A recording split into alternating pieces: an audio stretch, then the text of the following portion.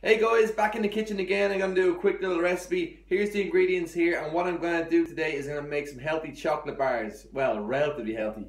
Uh, just a couple of ingredients here. Go over them really, really quick.